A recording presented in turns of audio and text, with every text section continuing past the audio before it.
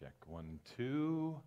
Good morning, proximity. Again, uh, folks, if you're out, sorry we're a little, little late on the go today. Again, just working through some kinks here.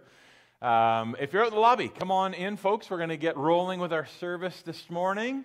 Uh, welcome, welcome, everybody. The extended summer we've had, a little cooler today, but certainly not as cool as, as it's going to be in January. So uh, let's stand together, if you will, and we're going to go ahead and pray, and then we're going to dive into our worship, and we're continuing with our series uh, today on Jesus is. So we'll keep going with that.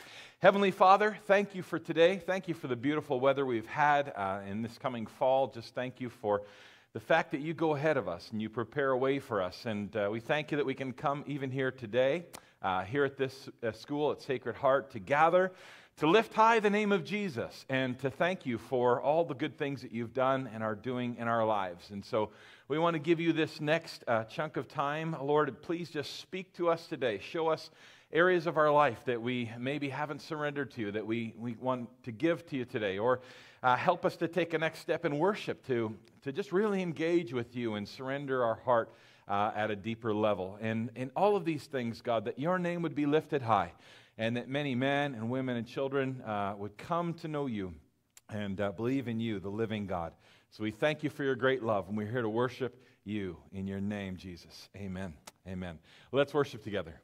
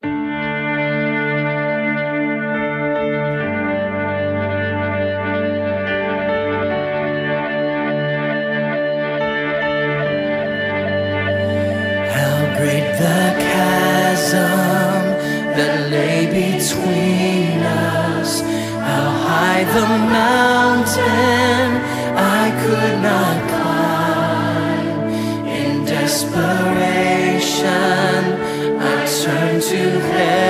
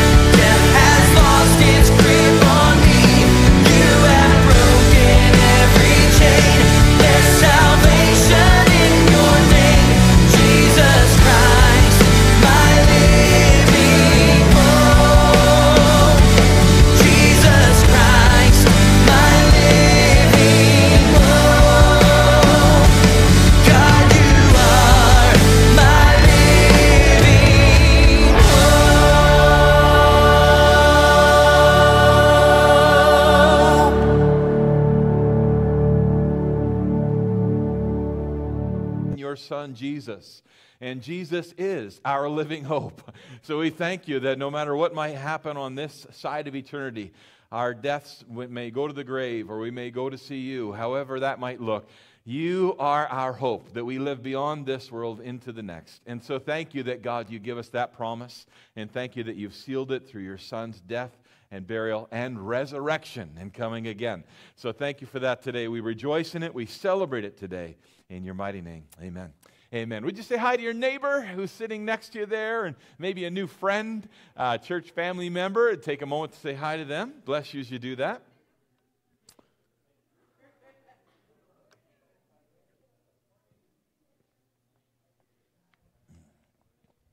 Welcome to our online audience as well. Glad to have you with us. If you're watching this on Facebook Live right now or maybe on YouTube a little later, glad to have you. I know many of you pick this up through the week or share it as well. Thank you for doing that, just forwarding it on to a friend and saying, you know, here's a, here's a great topic that we, our church has been doing on who Jesus is. Uh, so I encourage you, to those you maybe are sharing your faith with, church family, to uh, pass along uh, the sermon series to them or encourage others to check it out. Check out our church. Here's a link. Uh, kids Ministry, give you a couple announcements before we dive into uh, our third in the series today. Kids Ministry's up and running here at Proximity. We have lots of room for kids right up to uh, age 11, grade 5, I think that is. And so bring your kids out, young families. Uh, moms and dads, come and get a break here. We have coffee as well. Uh, so come on in and enjoy that time, and your kids will have a program designed for them as well. Uh, Soup Sundays coming up next Sunday. Uh, we, had, we took a break from Soup Sundays, did barbecues. Now back to Soup Sunday. But what we need to do is just build our list a little bit. So if you are able to help, uh, next Sunday is set. I think we have our uh, soups ready. Uh, well, they're not ready now, but they're going to be made and be prepared, uh, and they'll be brought. But we still are looking to build that list. So if you're available maybe for October or even into November, uh, just sign up on the welcome, at the welcome desk on the way out, and we will put you on the list for uh, those upcoming events. And this is just a moment, the last Sunday of every month, where we like to take some time to connect as we don't uh, yet have our own church building. Uh, we're believing for that. However, God provides that. We're looking forward to that. And, and if that be His will, so be it. Uh, but until then, we're trying to grab any little bit of fellowship in homes or in the lobby here. So that's what that's about. Encourage you to plan on staying with us for lunch. And then our hymn sing. This is an outreach of our church to Bridlewood Trails uh, Retirement Home. Uh, and if you'd like to be a part of that, that's today at 2 o'clock. And if you can arrive a little bit early, around 1.30, 1.40 or so, and uh, the hymns are sung there. The, there's uh, lots of hymn books, and uh, the residents join in with some of our folks. So we'd encourage you, if you, if you would love to sing and be, uh, it'd be a ministry to some people who can't usually get out to uh, maybe a local church, this is a great way to uh, just be a, a, smiling face and the love of the Lord shining through your life to someone else. And then here's our website. I always love to throw this in there, not just for the donate button. I know that's a part of it that many of us give that way online, uh, but also there are so many other links here. Uh, the next steps links is great. If you ever just have some time this week, check that out and look at all the little rabbit trails that come off of that. Questions about who Jesus is, steps to faith in Him or to salvation, you prayer requests, uh, etc. All under next steps. And then uh, the ministries that we offer, uh, missions, uh, missionaries we support, sermons, all the past sermons are linked there. So there's a lot of different uh, resources there that, again, you could share uh, with the welcome cards, the uh, flyers that are there, and we just encourage you to, to go ahead and avail yourself of those.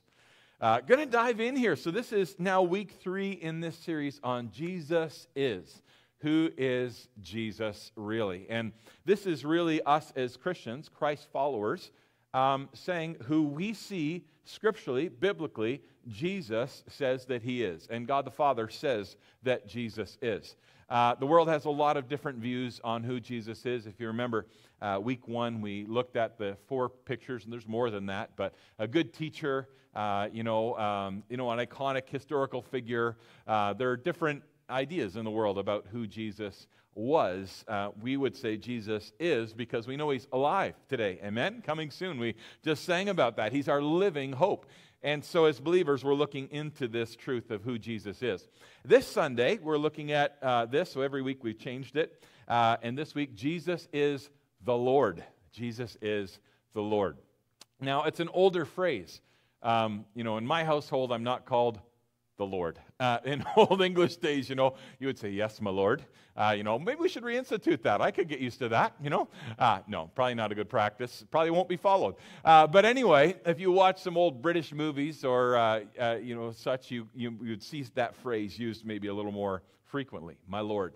Um, and so we're looking at this today, and as we do, for some of us, we might say, well, what, what really does that mean? So I found this great little quote, and then I want to give you some practical uh, uh, thoughts around it. But the, the phrase, Jesus is Lord, indicates that Jesus is God.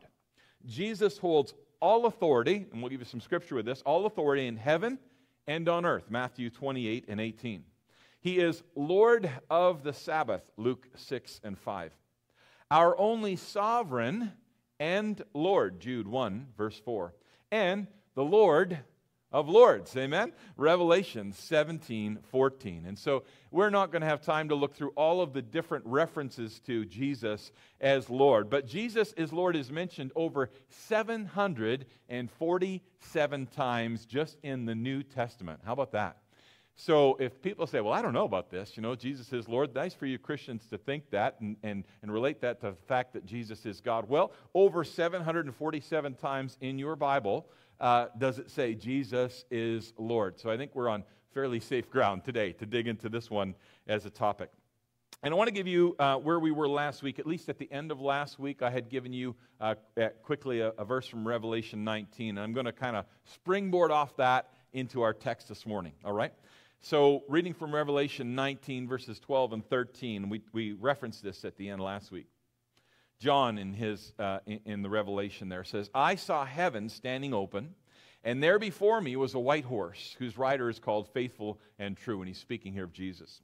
With justice he judges and wages war. His eyes are like a blazing fire, and on his head are many crowns. And he has a name written on him that no one knows but he himself. He is dressed in a robe dipped in blood, and this is what we talked about last Sunday. It was our topic title. And his name is the Word of God. And so that's where we went last week. A couple more verses here, just three more at the end of this. The armies of heaven are following him, riding on white horses and dressed in fine linen, white and clean. And coming out of his mouth is a sharp sword with which to strike down the nations. And he will rule them with an iron scepter. He treads the winepress of the fury of the wrath of God Almighty. And look at this part. On his robe and on his thigh, he has this name written King of Kings and Lord of Lords. And so, uh, just another verse there. And again, because we had tucked it in last week, and it helps us transition from uh, the Word of God to the Lord of, King of Kings and Lord of Lords. And part of our understanding as Christian Christ followers is that I'm not the boss, right? that's essentially the, the bottom line when it comes to Lord is, you know, who's the boss? And I don't know if you're this way, but uh, often we'll come into rooms and we will, uh, if we're, maybe it's a new environment to us or a new workplace or uh, a new friend group or sporting group or club, whatever it might be, we often kind of try and get into that group, maybe make a friend, and then we listen for a bit, right? If you're anything like me, you listen for a bit and go, who's really in charge here? who's the boss? How does this go? What's the flow? How does, the, what's, how does this all work? You know, kind of thing. Um, I was laughing yesterday. Heather was sharing a little story. Naomi, our daughter, has been helping another family with their dog, and uh, she would go to their house and sleep over there. And she has this past weekend a bit. And the first time she did that, she went over, and it was a couple of nights she was there with the, the family dog. And the dog didn't know her that well, and, and the dog would kind of listen to Naomi and not always that well. And um, so, anyway, then Heather went over on, I think it was the third night, Heather went over.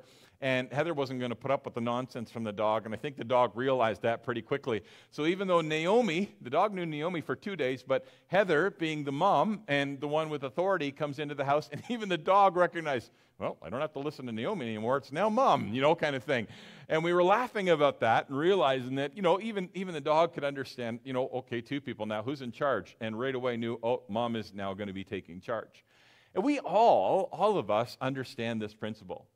No matter where we look at, we look to who's in charge, who's the boss, who's the master, who gets to call the final shots.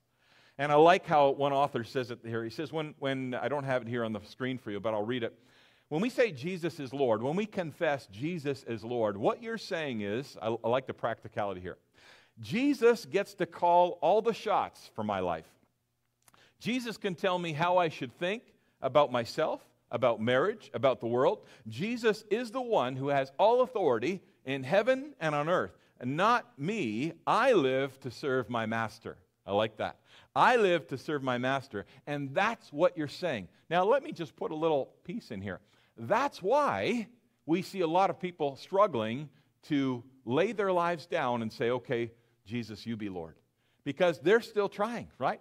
They're still not going to give up. I want my own way, my own dreams, my own plans. I don't need God. Things are going well enough for me right now. I'm not willing to surrender or lay that down, right? There's many people. We have friends or family members, coworkers who who no no no, I don't need God. Life's going pretty good and for most of the things that have gone bad, I have a bank account or I have some solutions or a bag of tricks.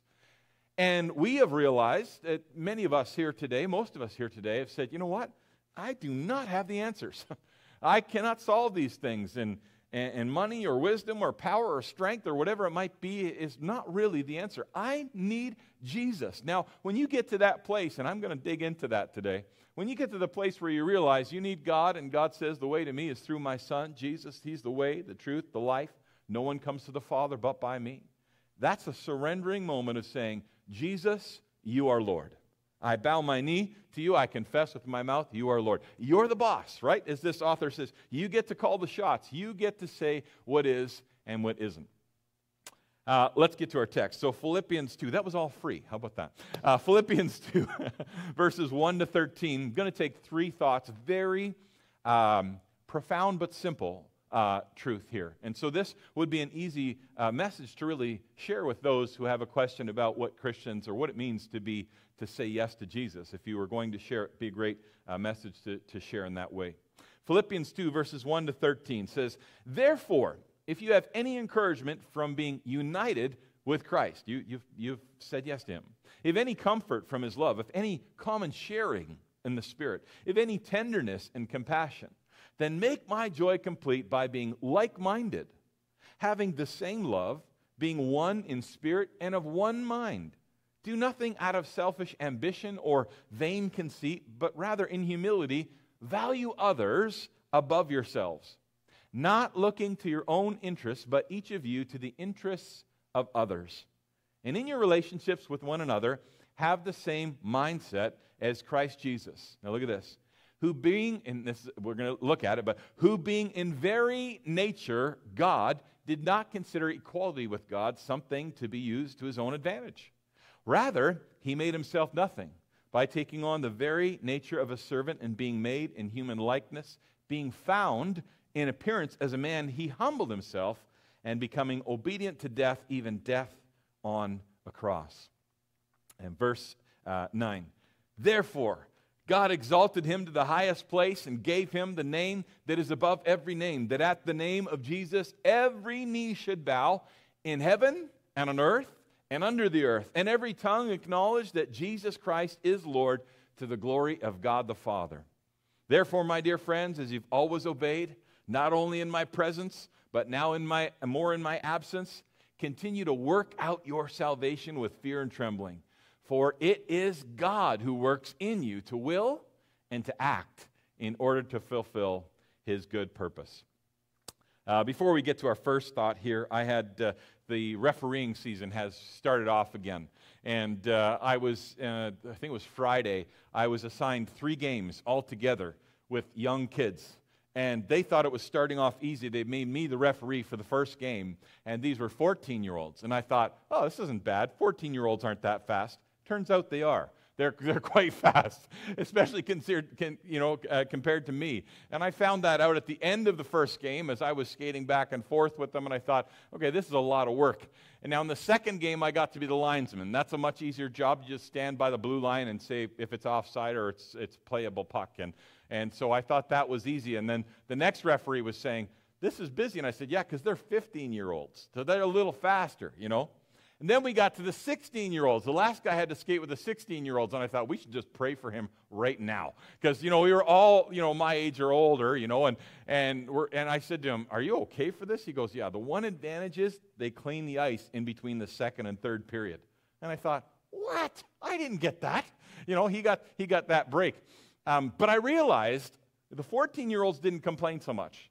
The 15 year olds complained a little more. The 16 year olds, believe it or not, they know everything. Did you know that? 16 year olds, teenagers, know everything. They know more than the referee, more than their coach, more than everyone else. Uh, but when you hit the whistle and you're wearing the stripes and the red armbands, guess who's the boss? You are, as the referee. And they find that out really quickly.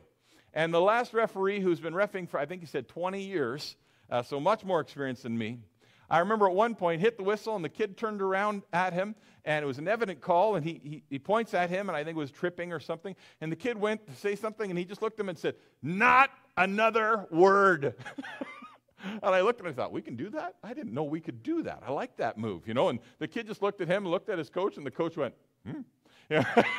and he just skated to the box. And I thought, wow, there's a recognition of who the boss is. You're not, your coach is not, your mom who's banging on the glass and whipping her purse around her head, she's not at this point. It's this referee. He's the boss. He gets to say what is. And you have to go to the box. And there was this moment of realization for this 16 year old that didn't matter what he wanted to say or how he thought it should go. None of that mattered in this moment. There was a boss. And didn't matter, what I'm saying is what he believed, what he thought about himself or about the moment. Believing is our first thought here we are encouraged in the text to believe, first of all, of, of, all these things, to believe on Jesus or believe that Jesus is Lord. That's the very first step to understanding Lordship. You can't have Jesus as Lord, but really not believe He's Lord. There needs to be a work in your heart that says, yeah, Jesus is who He says He is, and He's the boss, and I'm not. And I'm surrendering to that. I'm giving up to that. Philippians, he says it this way. Remember the text there, it says, If you have any encouragement, you're united with Christ, any comfort, uh, any common sharing of the Spirit, any tenderness. Look what it says in verse 2. You're being like minded, have, having this same love. And look what it says being one in spirit and of one mind.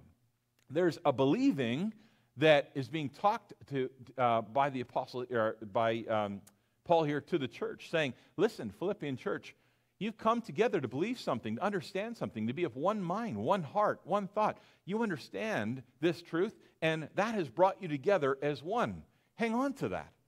And that doesn't come easily when we come into a room and we all have different opinions about what we should do or what we should eat or where we should go. Um, you know, that can be really frustrating. You find that as a family or a friend group. When all of a sudden you all have the same hankering for food or you all want to go to the same place, isn't that so much more exciting where you just go, Yeah, I want to do that. Yeah, there's a unity, there's an excitement, there's a belief that creates a power, a momentum, well, that's what is being said to the church here. You've all come together and you've believed this. You're like minded. You know Jesus is Lord, and you've come together to believe He's the boss and you're not. And he says that's a beautiful thing. That's bringing um, a love and a comfort and a common sharing. Your spirit, your minds are intertwined around this very thing. And then he says, so when that's happening, look at verse 3 don't get selfish again. don't start thinking that you know what's right. Have humility, he says in verse 3. And don't just look out for your own interests and your own desires. When you've started to believe upon Jesus and look to Him and surrender to Him, stay in that place of believing that He is Lord and you're not. And then in verse 5, he kind of brings clarity to it. Have that same mindset. That's the thinking, that's the belief. Now, I don't know if you've found this, but we can we have been given tools as believers to share our faith with others right we've got uh, Bibles and tracts and um, scriptures and books that we can give, videos now, and uh, even apologetics where we can defend the gospel or share with others. A lot of tools that have been created to share and defend the gospel. But the reality is, and, we, and we're to do that, I'm not negating that, I'm saying that's our role to share our faith and to share our story and our testimony. But until that person says, All right, you know what? I surrender. Enough of me and they say no to themselves. They give up their selfish ambition. They give up their pride. They realize they're not the one calling the shots. But in this case, the, the Lord Jesus is calling the shots and they surrender. then, till that belief and that mindset clicks in, it's, as the scripture says, you're throwing your pearls before swine. They're, they're just, it's a waste. And so, part of the way we need to pray, and I've been doing this a little more in my own prayer time, I have what I call the five. And there's more, but I have the five, and there are five uh, young men, relatively young men, that I'm praying for every day. I pray for five. Um, and uh, just I call them the five, and the Lord knows that when I bring them up. The last three weeks now I've been praying, and I'll say, Well, Lord, I'm praying for the five, and then I'll name the five. And I'll say, I'm praying, Lord, that you would open the eyes of their heart to see that they are not the Lord and you are. They are not the boss of their life and you are. I've shared this illustration before, but I think that, and we're not, uh, you know, we don't live in a, a part of the world where this happens, but earthquakes, you know. The couple that I've felt, little tremors that I've felt ever, you know, have haven't, you know, hardly been noticed. But I, I can only imagine people who live in California, other parts of the world where they have these nine point whatever, 10 point whatever they are, you know, or some of the ones that are getting bigger and bigger around the world. What do you do, folks, when the very earth you are trusting in and standing on gives way? I, I, then you must understand, yeah, I'm really not in control. I don't get to tell the sun where to be, the moon, the stars where to be. I don't get to tell the earth whether it's going to open up today or stay solid. There is a God there is a Lord, Jesus, who's been given for us to think differently about and believe differently about. And I'll tell you today, the Word of God says, today is the day of salvation. Believe today. Take a moment today to realize you're not the boss. You really, how much control do we really have in life, right? You think about it, you know, how much do you really control around you? I was, uh, this was funny, a couple weeks ago, I was dreaming early in the morning. I'd woken up and then I went back to sleep. And I was dreaming that I was uh, with a group of friends, and we were, we were in this room. We were uh, busy about an activity. And then the power went out. Boom. And it was pitch black. There were no windows in the room, and it was all pitch black. And I thought, how are we going to get out of here? And then I woke up from my dream and realized our power went out for real in our house. and somehow my dreaming mind knew that what happened in the real had then happened in the dream. And I thought, man, I don't even have control of my dreaming, let alone the power going on and off in my house. What really do we have control of? I think it's a much better step to say, you know what, Lord, I believe that you are God. You sent your son. He's Jesus is Lord. I'm not. And so I just surrendered to that. That's the first step. That's got to be the first step to acknowledging him as Lord. It's believing in your heart. Here's the second one. Then there's gonna, going to be naturally a serving. A serving Jesus as Lord, or surrendering. You could, you could put it that way. I went back and forth between the two. Look at verse 6. It says, Jesus, who in very nature God, that phrase in the original language means equal to, exactly as, same person as God, one and the same. And so if you're arguing, well, I don't, I don't think it means that, well, go to the scholars in the original Greek and see that's exactly what it means. Jesus, equally God, truly God, didn't he wasn't looking for equality with it, but he wasn't thinking, I need to be equal with the Father. He already knew who he was, and as part of the Trinity, knew that his role in the Trinity. And so he wasn't looking for that to be something that he needed to achieve. That's what verse 6 is saying. He was equally God. He wasn't, that wasn't something he needed to worry about. But look what he did. Verse 7, and this is the power of the gospel. He made himself nothing, taking on the very nature of a servant. Our Lord took on the nature of a servant, took on the activities of a servant. Now, aren't you grateful for this today? Because without Jesus coming, we are lost. Without him coming and dying our death on the cross that we deserve because we're sinful people, he came perfectly, gave his life, buried in the tomb, rose from the dead, amen, and is coming again. And he served us by doing this for each of us. That happens as he realized, I don't have to try and prove anything on this relationship. Instead, I'm going to serve. I'm going to serve others, even as the Lord. Verse 8 says, He was found in appearance as a man, but he humbled himself by becoming obedient, even to death on a cross. This is our Lord. This is, this is our, our God who has come. And I can't even, my mind doesn't wrap around it. When I'm with my little granddaughter, Green, and I was looking back at pictures from a year ago where she was this tiny little baby that you could just hold in your arms and she'd just look up at you, you know, with the squinty eyes that babies, you know, have. And you could smell their head, you know, the baby smell. You just, oh, well, the good baby smell. I know there's bad baby smells too, right? Yeah, I get that. Uh, but the good baby smell, because in the bad baby smell, you just hand her back to mom, right? But, you know, the good baby smell, just those moments. And I was looking through some of those pictures. And then we were walking through, I think it was IKEA. Heather and I were walking through IKEA together, and Cassie sends me a picture of our little granddaughter Green, who now has way more hair than me, but it's pulled up in a, in a fountain bobblehead, kind of like poop, like this up top.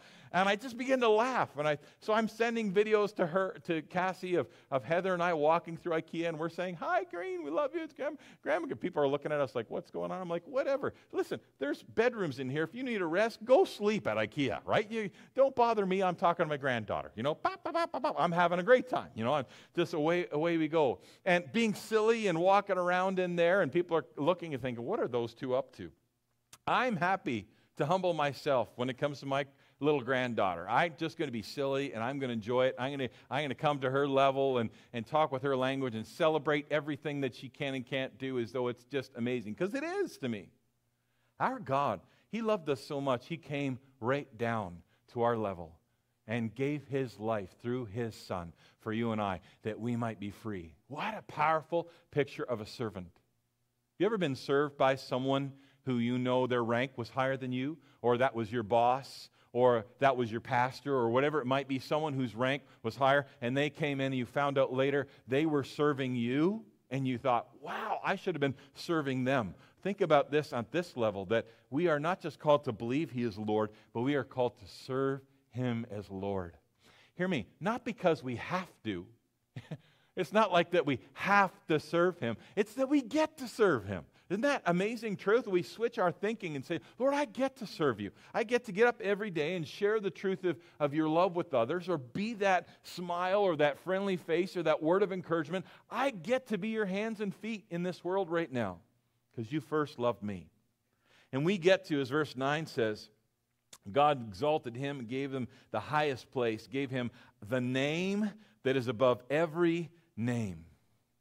I think I shared with you last week, uh, or maybe it was with our men's group, I can't recall now, but um, there, and I'm sure in your groups as well, there are many people who take the name of Jesus and they use it in vain, or they use it without thinking, or even as a curse word.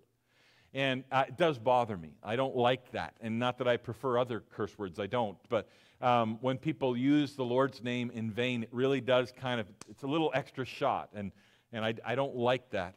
And I was talking to the Lord about this and just kind of saying, oh, you know, should I be saying something about this? What should I should I speak up about this? How should I handle this? And I really felt the Spirit say, as you hear those people using my name in that way, begin to pray for them. Begin to pray for them that as they use my name in a derogatory way or in a way where they're not even thinking about the name of Jesus or what it might mean, pray for them that would, their eyes would be open to the power and the beauty and the majesty of the name, amen, that is above every name. And I thought, wow, so I've been doing that. As people, you know, say the name of Jesus and use it in a derogatory way, I'll look their way and just say, Lord, help them to understand the beauty of your name, the power of your name, that there's healing in your name, salvation in your name. Transform them, open their eyes, because the truth is, they're blind. if you don't have Jesus today and you don't understand who Jesus is, then you're blind. And you can say to a blind person, Don't you see this? Look harder. They can't see it. They, until the miracle of sight comes and God opens their eyes. Do you hear what I'm saying? The Spirit quickens their heart. Then all of a sudden they see, well, that's our part. To be a light and to be a person who would come along and pray for others and, and speak the truth to others. And that's the third point this morning that ultimately we need to get to a place where we em- embrace or believe that Jesus is Lord. We've got to embrace it. We've got to say, Yes, you are my Lord. You are my Jesus. You know, uh, I, remember when, when uh, our oldest Cassie was little, I remember we were at a party one time, and I noticed that uh, another friend of mine, there's a bunch of young couples and young families there, uh, we were wearing similar, we had dressed similar, not the same, wasn't weird like that, but similar, similar colored jeans and, and a top, and we had a similar no hair hairdo uh, right? we were walking around at the party and talking. Cassie was just a little toddler with her curly little hair. And I remember watching her, just kind of keeping an eye out for her. And Heather and I were visiting with other people. And I watched her zip across to my friend who was dressed similar as I was. And she just went right over. And you know how toddlers will do that? They just lock onto your leg? and they just kind of grab onto you. And she thought she had me, but really it was my friend's leg. She just kind of grabbed on, and then she's looking at other people, and everyone kind of chuckled a bit. And then she looked up and realized, oh, not my daddy, you know, kind of moment. And I was making my way over to her, you know, to kind of make my way across to her because I knew this would kind of, you know, surprise her a little bit or, or, spook her a little bit. But and then as soon as I was coming towards her, she sees me and just kind of runs, and then it was right up into the arms And I don't think the rest of that night she let me go, you know. Just like, and she was saying, my daddy, my daddy, you know, kind of thing. Like, and looking back at the other guy, like he was a villain, you know. she realized, no, this is my daddy. That wasn't my daddy. But there was an embracing. There was a moment where she was like, yes. This is the final piece that is an important piece in that fact that Jesus is Lord, the reality that Jesus is Lord. Verse 10 says, At the name of Jesus, every knee should bow in heaven and on earth and under the earth, earth and every tongue, look at this word, will acknowledge that Jesus Christ is Lord. That word means to recognize to see for what it truly is. You see, we pray right now for people who use his name in vain. One day they will see that Jesus is Lord. Every knee will bow, every tongue will confess he is Lord. He was the, all along, he was the boss. All along, he was the king. And I missed it. And so we don't want to be uh, like in that moment of, you know, wondering and curious, but we want to just run into the arms of Jesus now and go, You are my Lord. I embrace you now. You have the say in my life. You, have, you can tell me what I should and shouldn't be doing, where I should and shouldn't be uh, involved, where I should and shouldn't be act, taking action. That's all you, Lord. And so you have every right. That's what that means when it says your tongue acknowledges and recognizes Jesus Christ is Lord. Just a little free piece here before we go to the next couple verses. You know, even the devil and his demons know who Jesus is. Do you know that? That even they know more so than many people in our world that Jesus is real, that he is God's son, that he did come, die, uh, was buried in the grave, and uh, rose from the dead, and they know he's coming again. They know the devil knows the Bible, but the devil has not submitted to Christ's lordship, nor will he ever, nor believe or rest on him or embrace him.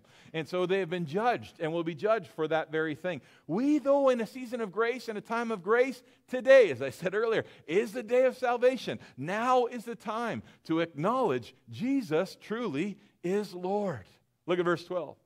Therefore, last part of our text, my dear friends, as you now have obeyed, as you've now taken action, as you've now agreed on this, not only in my presence, but also my absence, look at this. Keep working this out. Keep working out your salvation with fear and trembling. Keep working out. That means with some humility. Understanding there's going to be Mondays where things don't go well, and then other days on Wednesday where think, look at me, boy, I read all the Bible in one day and if that's possible you know you know you're going to have good days and bad days. You're working things out. Some days you feel like you're getting it right other times not so much and you're learning your way. Work that out. Work out that salvation. You're not working for your salvation. You're working it out. You're figuring it out. I was laughing this week at a funny little video that comes up on my phone. And it was this dear lady. She gets into a car and all you can see is her view of the steering wheel of this car. And she's in the car and she's and she's telling everyone she said now in this car and I've owned this car for five years, and I never knew that I had a sunroof. She says, My knee hit this knob, and she shows the knob, and the knob opened up a sunroof. I've had the car for five years. I never knew how it a sunroof. And then you can see the camera pan a little bit to the back seat where there's some, I think, some bags or something that she immediately realizes aren't hers. And she says, oh, I'm in the wrong car. This isn't my car. She was in the wrong car, but thought it was her car. So she jumps out and then looks over. You know, one car over is a black car, same as hers, no sunroof. Because I was thinking as I'm watching, how could you have a car for five years and you never knew there was a sunroof. I mean, I've got some questions, right? I got some questions here. You didn't know there was there was, you know, a sunroof in your car, but I just laughed and laughed. I thought, how could she not acknowledge that? How could she not see that? How could she not understand it? And then when she sees the other car and she's zipping over to the other car, you realize, yeah, there's no sunroof. Looks the same. The car looks the same. But, you know, she was kind of lost in the moment. And when I look at this, I think, yeah, it's the same kind of thing. We're working at our salvation. And there's going to be some things we realize along the way for real. And we're going, wow, I didn't know this about God. And there's going to be other things that we, we think, wow, that was beautiful. God revealed a whole level of this, and I need to give these things up and grow here. There are things we're going to make mistakes, and sometimes, you know, we're going to do something and, and we're going to realize, oh, that was, sorry, Lord, forgive me. We're working it out. But I want to encourage you today. Look at verse 13. It says, For it is God who works in you, look at these two words, to will and to act. God is doing two things in you through His Spirit. He is working with your will, your desires, your heart. He's working, in, that's what it says. He's working in you with your will. Because some people say, I don't want to say Jesus is Lord. I don't want to believe on Him. If I believe on Him, He's going to make me give up all the good things in life and give me all the bad things in life. I'll just tell you, it doesn't work that way. It does not work like that. He gives you joy, incredible joy, and peace that cannot be bought by anything the world has to offer. And people will think, well, if I serve him, though, he's going to, he's going to give me all these things that I hate. No, he works with our will. He changes our heart and our mind to show us the very things we thought were good for us and were right for us never were. That He created us, and so He knows how to work with our will. And then He challenges us with, with our actions, right? He'll encourage you, share with your friends. You know, uh, bless this person, give to this thing. He, the Spirit of God, is working with your will and with your actions to transform you and change you into His image and His likeness. That's the work that He's doing. I love this. Uh, to, to kind of wrap it up here with a final step for all of us, I love what I found here in, in one commentary where it says, Jesus is Lord. What is the scriptural meaning? So, what's, how does this all come together?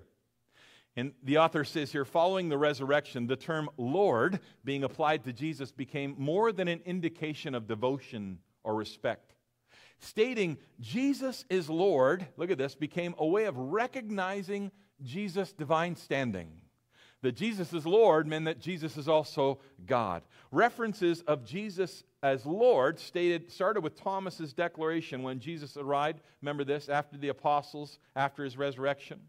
Thomas said to him, "My Lord and my God." In John 20 and 28. Jesus never corrected that. Jesus never said, Whoa, whoa, whoa, no, I'm not God, I'm just your Lord. No, no, he says, My Lord and my God. And the author says, From thereafter, the message of the apostles was that Jesus is Lord, signifying that Jesus is God. One final thought here. Peter's uh, sermon on the day of Pentecost carried this same idea. He said, Let all Israel be assured of this. And boy, isn't this a great prayer for Israel today? God has made this, uh, th- this Jesus, whom you crucified, both Lord and Messiah, Acts 2.36. And Peter later declared that in the house of Cornelius, stating that Jesus is Lord of all in Acts 10.36. So he says, it's important to note that when we get to Romans 10.9, and that's where we're going to conclude here, Jesus' lordship is connected to his resurrection. If you declare with your mouth, Jesus is Lord, and believing in your heart that God raised him from the dead, you will be saved. So I wanted to bring this together in this way, and I'm going to encourage you to stand with me this morning as we wrap up here uh, this morning. That there are really these simple steps that we need to take if we're going to see our life transformed and see our, ourselves really honor God in this way. And it's a belief and a confession, an embracing of Jesus as Lord. We want to have one mind that's united with uh, the Father, that Jesus is who He said He is. He's Lord. And so I need to believe that. And that's why Romans 10 9 and 10 says, Believe in your heart. There needs to be a belief in your heart today. You need to challenge. And if you're watching this today and you're thinking a lot of other things about other religions and whatever, just take a moment to maybe even just pray this prayer God, if what this pastor's saying about Jesus is real, then show me. You know what? God will show you, He'll reveal Himself to you. The Word of God says he's, he's happy to do that and faithful to do that. And just even pray a prayer that, Lord, if this is all true, Jesus, if this is all true, I want to believe, help me in my unbelief. God will reveal Himself. But it starts with a belief in our heart. And God is good. He, he will open your heart. He'll, he, the Word of God says He knocks on your heart and, and, and asking you to invite Him in. So that belief needs to take place. Now, when that belief takes place, the other great thing, the other service, as we talked about, point number two, or service or embracing, is confessing Him. And listen, I, I encourage you, don't just make this a one time thing. I, I, I, appreciate the days of old. We, just as I am without one plea, but that thy blood was, I come to thee. And we would have altar calls, and they're beautiful times. And there's been different ways people have come to faith over the years. And there's maybe been one confession at one time, you know, that someone has made. I encourage you, this confess with your mouth is not just a one time. Speak it over and over again. Get up in the morning and say, You are my Lord, Jesus. Thank you that you are my Lord. Embrace Him anew every moment. In the middle of your difficult Monday, difficult week, say, Thank you that you are my Jesus. You are my Lord. You're the boss, and I'm not. Because then you can say, Lord, do you see what's going on here? Do you see what these people are doing? Just letting you know, I'm not the boss, you are. So, you know, Moses did that. He said, Well, you know, Lord, the Lord says, You know, I'm not going to go with the uh, children of Israel. You just take them across. I'll give you an angel. And Moses said, Whoa, whoa, whoa. This was all your idea. If you're not going with us and you're giving us an angel, I'm not going to take another step. You, these are your people. I love that. You know, and we can say that, Lord, this is I'm living my life for you. So if if these persecutions are going on, then I look to you because this is not about me. I, my reputation and my life and all th- this stuff that you've blessed me with, it's all beautiful, but it's about you. Heavenly Father, today we confess either for the first time, or maybe the second or the thousandth time in our life, Jesus is Lord. In our lives, I pray today that many who are watching, maybe for the first time, would believe with their heart Jesus is Lord and confess with their mouth Jesus is Lord. And that God, you would show them uh, the, the beauty of the truth of that. Forgive our sins today, Lord, even for us who've been following you and working out our salvation. Would you purify us today? Forgive us of our sins again today. Relieve the stress and the burden and the pressure. Take us, take away the things in our life we are dabbling with. We believe that you are coming soon, and we don't want to be caught wasting time with things that are of no consequence. So today we declare it and embrace it and believe it. Jesus is Lord. You are our Lord. And as we leave here in just a moment to go into our world, may we be a reflection of your love. May we be a reflection of your grace and your mercy. And may others see that in us and then find that truth that Jesus is Lord. Thank you for these people today. Thank you for the, the beauty of being a part of your church. Bless us as we go. We prayed in your mighty name. Amen. Amen. I wanted to give a little bit of a, uh, an advertisement for next Sunday. Um, yes, I know it's Soup Sunday, so it's not about that. Some of you are like, Soup Sunday, right? No, that's a great thing. But next Sunday, I'm going to do my best to, uh, and there's a lot that could be talked about here, but our final piece is about Jesus, our coming King. And there's a lot going on in our world right now. There's a lot of discussion. Actually, in our men's group, we're looking at 1 Thessalonians, which talks about, in all four chapters, Jesus coming soon. We believe he's coming soon. So, next Sunday, if you have some questions about our crazy world and all that's going on and what it's supposed to look and how it's going to go, I want you to know that you can find comfort in the fact that Jesus is coming soon. Next Sunday. Don't miss it, all right? God bless you. Have an incredible week in the Lord and, and, and enjoy the fact that he is Lord. Bless you.